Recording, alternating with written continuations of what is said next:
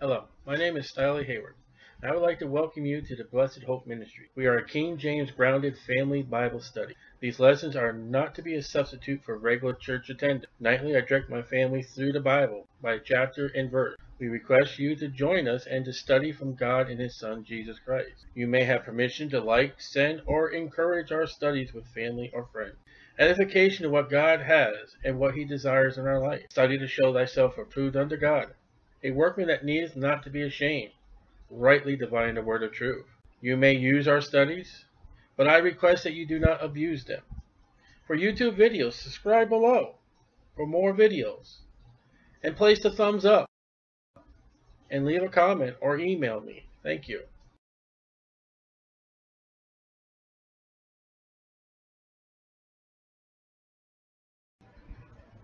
Exodus 33 And the Lord said unto Moses, Depart, and go up hence, thou and the children which thou hast brought out of the land of Egypt.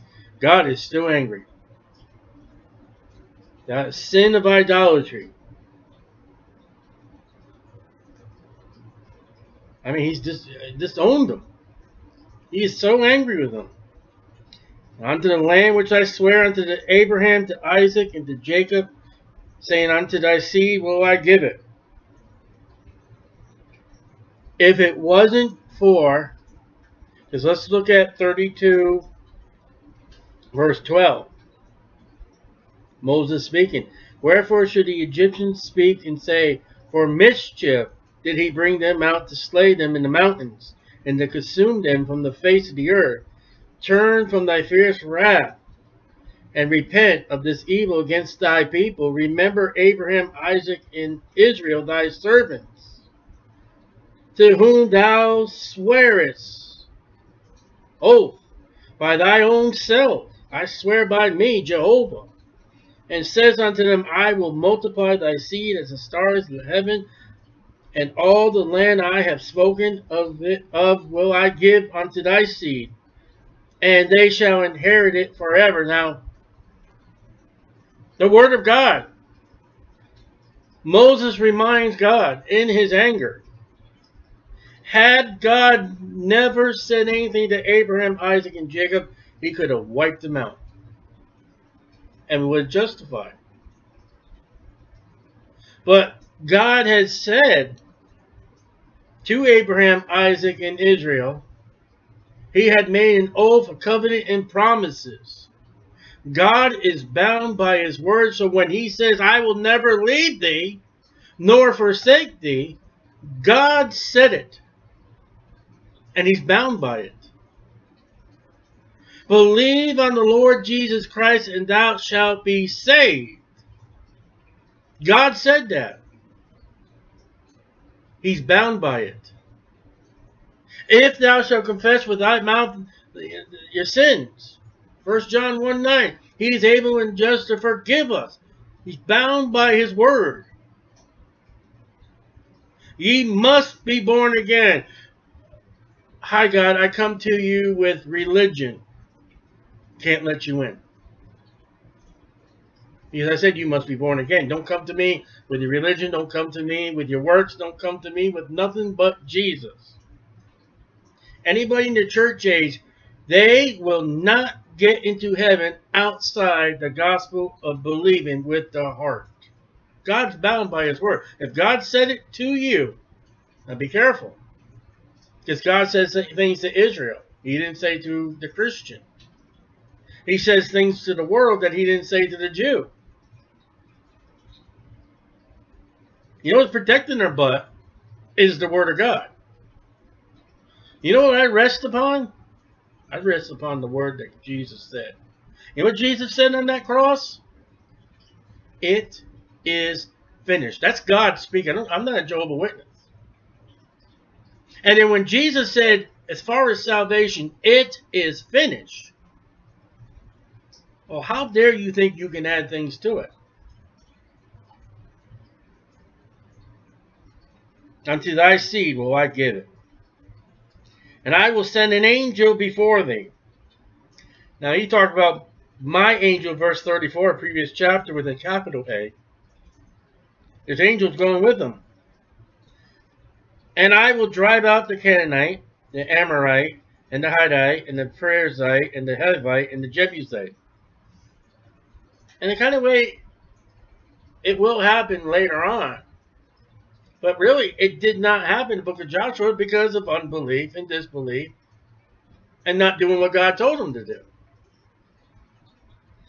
You realize if they would have done what God told them to do, there would be no Philistines today to get no PLO. That's Israel's land. That's not the PLO. That's not the Arabians' land. Had Israel done right in Joshua, David would never have fought the Philistines. They would never have been a problem to him. Unto a land flowing with milk. That's calcium. That's what the body needs. That's what a baby needs. That's not only a drink, but it's a nutritious drink. It's mother's milk. There's nothing like it. I know they got imitation formula and stuff like that, but that's not as good as fresh. And honey. That's a natural sweetener. It's not going to give you cancer. It's not going to make your eyes go blurry, as artificial sweeteners will do. I will not go up in the midst of thee. Whoa. God says, I'm not going with you no more. For thou art a stiff-necked people. If I go in the midst of you, least I consume thee in the way. This is because of the idolatry. This is not because, oh, we need food, we need water. Oh, God, the enemy's coming. Did you bring us out here to kill us? That moment they got into idolatry, look at what's happening. God has never been so angry with the children of Israel as up to this point. And when you get Jeremiah and you get them, you get the prophets coming to this, you, you've got gods on every corner of Jerusalem. And he has the Babylon sack Jerusalem. And when the people heard the evil tidings, you know what gospel means? Gospel means good news, good tidings. This is opposite of good news. This is opposite of gospel. Evil tidings, I don't know what a word is for that. You got good news? What's the good news? The gospel. They're one and the same. They mourned, and no man did put on his ornaments. I read that as a, I think of them as a Christmas tree. Things dangling. So, you see that word ornaments in your Christmas and all that? That's the first time it shows up, and they took it off because God's angry with them. So you're going to go down the store and buy them and put them on the tree where Jeremiah says, uh, uh, uh, uh, that's the heathen thing. For the Lord has said unto Moses, Say unto the children of Israel, Ye are stiff-necked people. I will come up into the midst of thee in a moment and consume thee. Therefore now put off thy ornaments from thee. That is God speaking. Well, can I have a Christmas tree with ornaments? What did God just say? Let's see what God says. And I may know what to do with unto thee. God doesn't even know what to do. Is it? God said, I don't even know what to do with you yet. You better strip of those ornaments. You better mourn. And he's already plagued them. There's already been 3,000 of them killed by the tribe of Levi. And with the rest of them, God's like, get those things off. Uh,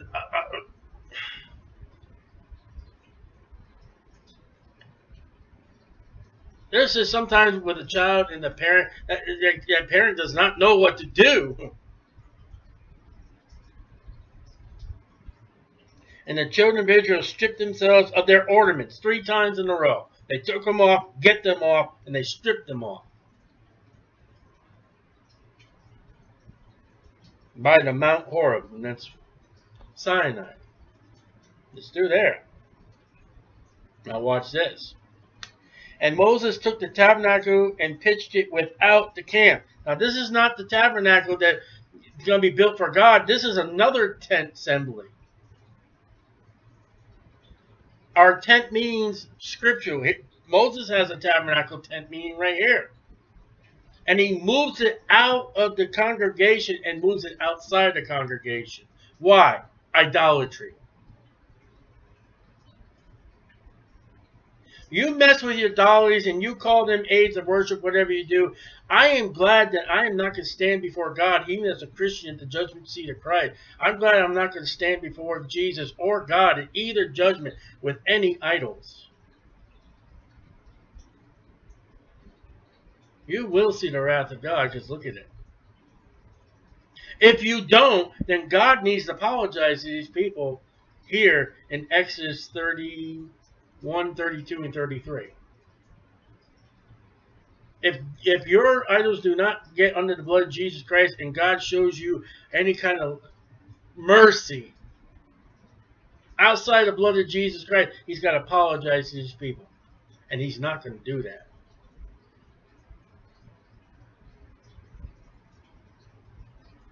great white throne judgment, these idols, God will be angry with you. Depart from me, you workers of iniquity. I never knew you. He's not going to say, oh, depart from me, you workers of iniquity. I never knew you. Sing a little, you know, mouse song. It's going to be anger. And Moses took the tabernacle and pitched it without the camp as uh, afar off from the afar off from the camp. Not only afar off, and called it the tabernacle of the congregation. And it came to pass that everyone which sought the Lord went out of the unto the tabernacle. They came out of the assembly.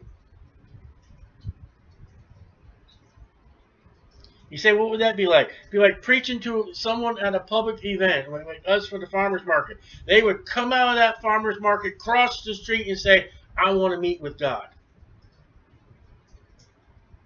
With everybody else behind looking at you. You know, look at that guy. Look at Samuel. He's going over there to Moses in his tent. Who does he think he is? Holy Joe? That's the only way you were going to get to God this point, which was without the camp. And it came to pass when Moses went out unto the tabernacle that all the people rose up and stood every man at his tent door and looked after Moses until he was gone in the tabernacle. Keeping an eye on Moses. We didn't know where he went. What happened to him? How long did he get? And it came to pass as Moses entered the tabernacle, the cloudy pillar descended and stood at the door of the tabernacle, and the Lord talked with Moses. That cloud is no more in front of him, it's away from him.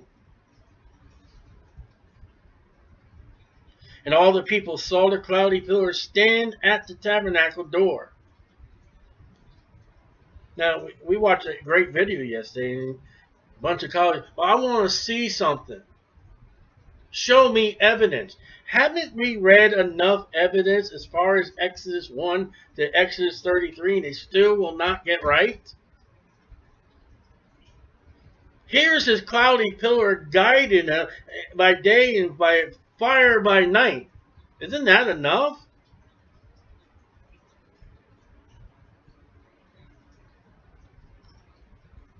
And all the people saw the cloudy pillar stand at the tabernacle door, and all the people rose up and worshiped, every man in his tent door. Wow. They're having services at their house, in their tent door.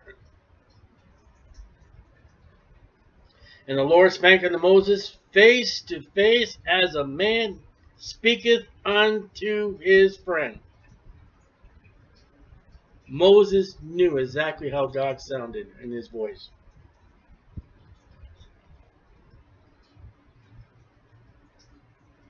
And he turned again into the camp. He's leaving, going back into the camp. But his servant Joshua, oh, here's, now he's starting to show up a lot. The son of Nun.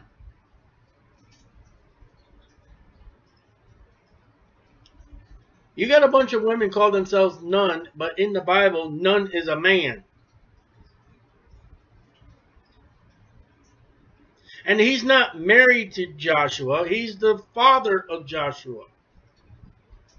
Joshua, Jehovah saves. He's Moses' right-hand man right now.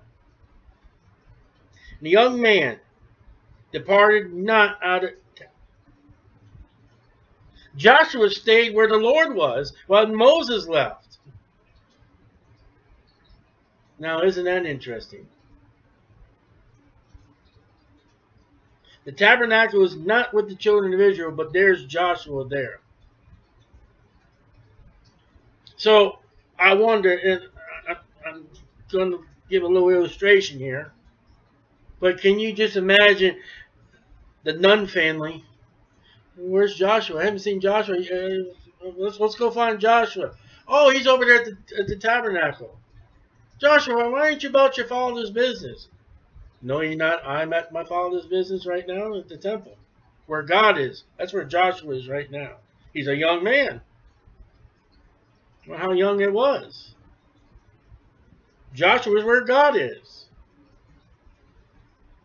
And Moses said unto the Lord, See thou saith unto me, Bring up this people, and thou hast not let me know whom thou wilt send with me. I need help here. I thought Aaron was walking with him. Aaron just blew it. Now Moses is even angry and not trusting in Aaron. I, I need someone else here. Yet thou hast said, I know thee by name, and thou hast also found grace in my sight. Moses is quoting God. This is what God told Moses. Notice what Moses is doing with his relationship with God. God, yes, this is what you said. Now, we don't have book and chapter numbers yet, but Lord, you said this. You said that. Now, therefore, I pray thee, if I have found grace in thy sight, show me now thy way. Who said who said in the Bible on the way there's Jesus that I may know thee that I may find grace in thy sight. And consider that this nation is thy people and Moses is not doing anything he's saying God I need grace I need mercy I need to know where to go and P.S with them people too. They're your people. Now, remember, remember God said over here in verse 1, Thou has brought out it, and Moses just throws it right back at God, thy people. God, will you stop rejecting them? They're yours. And I need your guidance for them. And he said, My presence shall go with thee. So Moses does find grace. Moses is in the will of God by that answer.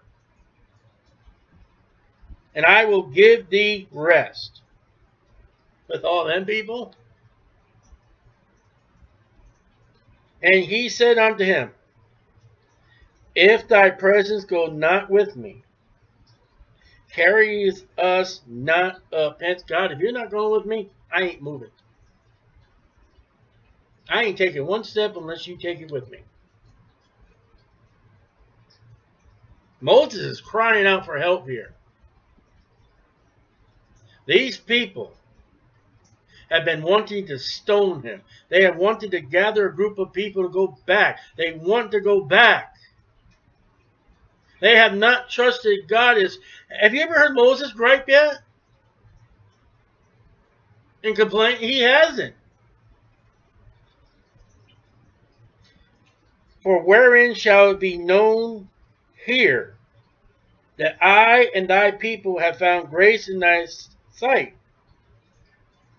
Is it not in thy is it not in that thou goest with us? So shall we be separated, I and thy people, from all the people that are upon the face of the earth. Here is separation. These people are not to be like anybody else, and nobody else is supposed to be like them.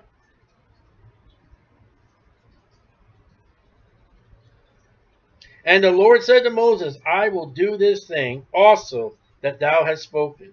For thou hast found grace. There it is. That's what Moses asked for. There's God saying it. G R A C E. You have found grace in my sight, and I know thee by name. Now, we talked about that book. Moses said, Let's blot my name out. And God keeps affirming, keep giving him strong your name. I know who you are. It's your name I know.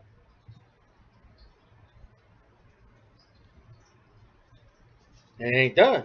And he said, I beseech thee, Lord, God, I beseech thee, show me thy glory. I want grace, now show me glory. Moses is not just happy being content, he wants it all with God. He wants to get closer to God. He spent 40 days and 49 nights up on the mountain with God. He's a friend face to face with God. And he said, God speaking, I will make my goodness pass before thee. And I will proclaim the name of the Lord before thee. I am. He's already done that. See, I think Moses has lost a little hope here thanks to Israel. Because of idolatry. Because of the wrath of God. If God's ready to give up on him, what am I going to do? And God's like, calm down. I know.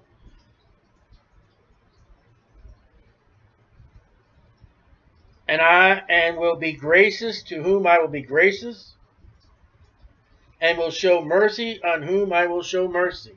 And Moses has been pointed out. And he said, God, thou canst see my face. So when Moses said, I want to see your glory, Moses like, I want to see you. So he didn't see God up on the 40 days and 40 nights because he said, For there shall no man see me and live. Well, let's run back to 2410. I'll tell you exactly who he said after this. 2410.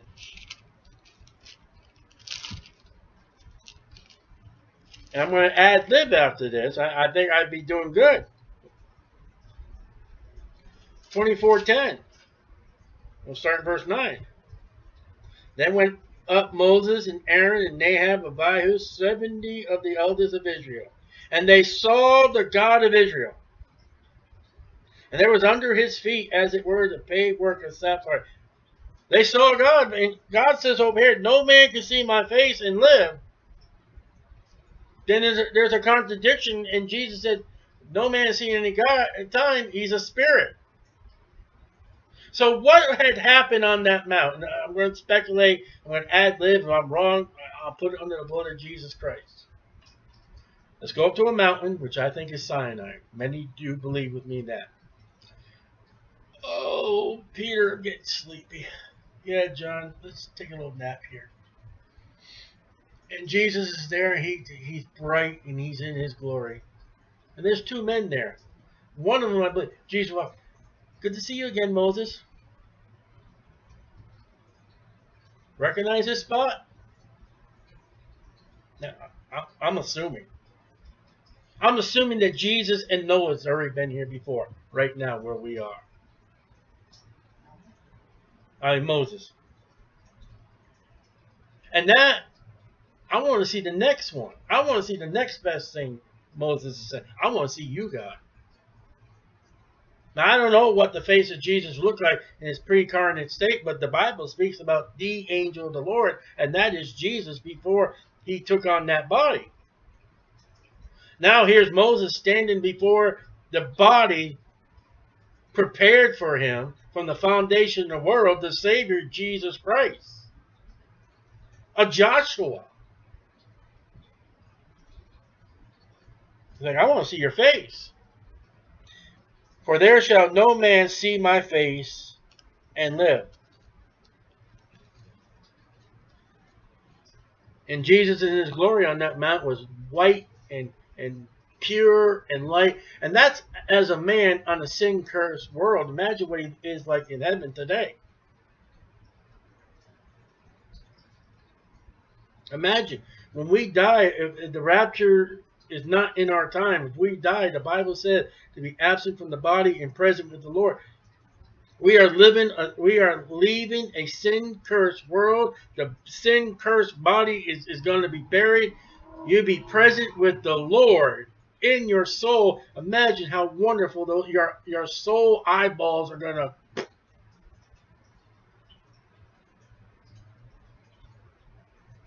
You can't even speak about the glory that we are going to, that day, whether it be rapture or death, what you're going to see. We're going to come to a point now, after this, we're going to see Moses' face is going to be lit up.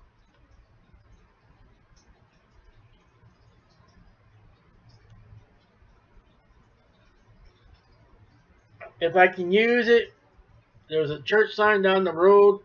If I can use it, maybe Moses' face got S-O-N-B-U-R-N. Sunburn of the holiness.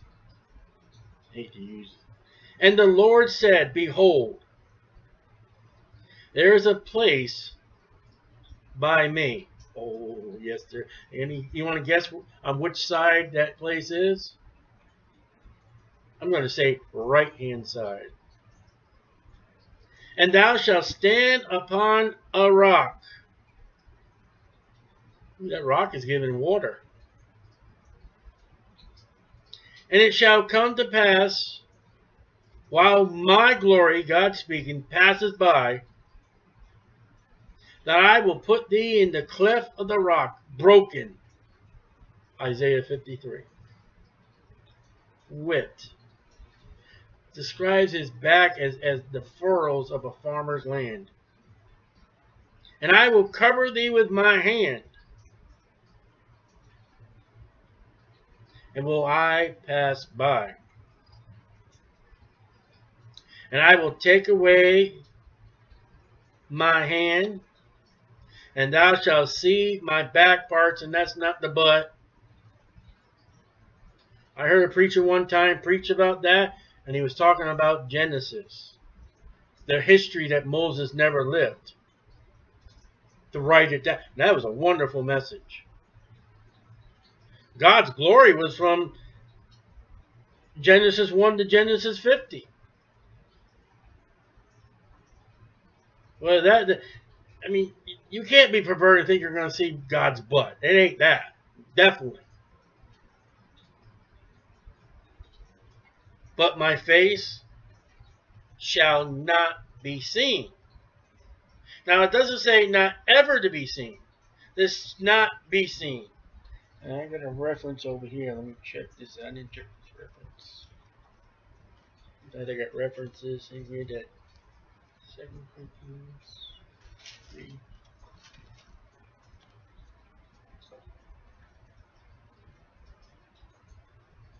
It says in Second Corinthians three eighteen, but we but we all with open face beholding as in a glass the glory of the Lord and change into the same image from glory to glory, even as the Spirit of the Lord. One day we're going to get a brand new body and we're going to we're going to see God somehow, some way.